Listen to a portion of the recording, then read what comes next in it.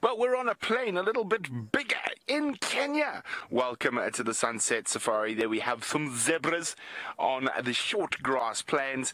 Welcome to Majestic, the Majestic Masai Mara. My name is Brent Smith. I have Dangerous Dave Easter on camera, and we're just in loving this lovely late afternoon light. It's a almost perfect temperature. The zebras look quite content on this lovely short grass here.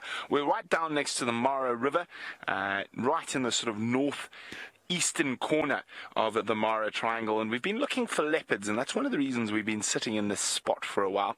A little while ago there was some nervous impala around, and uh, one female was snorting, but I think she was just paranoid because we've sat, we've listened, we've looked, we've scanned, we've scoured, and we've searched, but alas, no leopard just yet. But of course, the wonderful thing about the Mara is there's just so much game around, uh, even in what is called the quiet season. Oh, what is that, Dave? To the right. To the right, Dave. there we go. We've got some topi, and uh, next to a rather scraggly gardenia. Uh, that's just off to the left. There we go.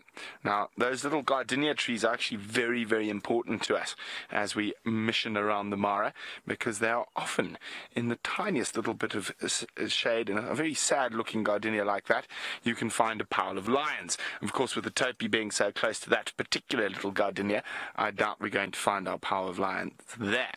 Now, there are quite a few other animals out on the plain, and we're going to see if we can find them. So, I did see some Coke's Hartebeest a bit earlier, and I know some people haven't seen them yet, so we will be heading towards that area. I still want to do one more little scratch around on the edge of the river, hoping for a spotted predator, and then we'll start moving our way further to the south towards the Samaki swamp. The elephants are always great in this afternoon, and of course that is part of the core area of the Angama Pride, but it is absolutely gorgeous this evening.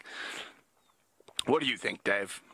Beautiful. Beautiful, Dave. Absolutely beautiful. And if you want to tell us how beautiful it is, use the hashtag Safari Live on Twitter. We would love to hear from you. Uh, of course, isn't this very, very exciting to be able to go on safari in Kenya and South Africa uh, in the same sort of couple of hours? I definitely think that's a world first.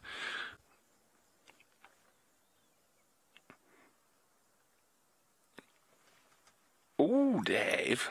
Butterfly. Oh no, it's coming too close to the car. Where's it gone? Is he landed? He has. Oh. Now, there's a butterfly that you should all know. So there's our first Mara quiz or second Mara quiz actually, but that is a butterfly that also occurs at Djuma, although I don't know if I can actually quiz you on something moving that quickly. I probably can't. Uh, so while I, I, think of another quiz, David was wondering, uh, do the leopards here adapt to less thickets and, and less trees? Uh, well, they do and they don't. I'm, I'm, I'm moving along the river, there's lots of big trees and these croton thickets, and if you are looking for leopards, this is the spot to do it, along the river or along the drainage lines as you would um, in any part of Africa. But of course, uh, can be a little bit more difficult for them. There's a lot more competition out as soon as they move away from these thickets and that. But there we go. There's those nervous impala. looking not so nervous at the moment. So uh, I would say that their behavior will be slightly different due to the amount of predator competition. But as soon as you find uh, wooded areas and thickets, there's always a good chance you might come across a leopard. Now, as I say that, leopard leap out of the bush onto that impala.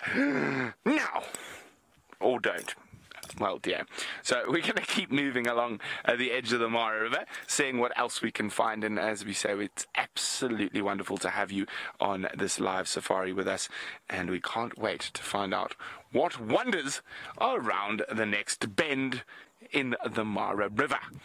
Okay, so there we go. Oh, he's quite an old boy. Now, the interesting thing about these impalas, their horns are completely massive uh, in comparison to the southern African variety. And uh, that's because they don't have a set breeding season. So basically, he's like a gym bunny on steroids. And his testosterone just keeps producing because he's got to keep competing for mating rights throughout the year. And you can find baby impalas at all times of the year here.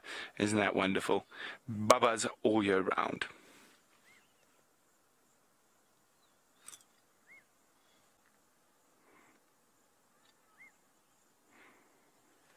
You can see why a leopard would like this croton thicket because it's a nice spot to sneak up on any unsuspecting poor creature. Oh, I hear a hippo in the distance. Mm. Oh, oh, oh, oh. But Tristan seems to have one inside.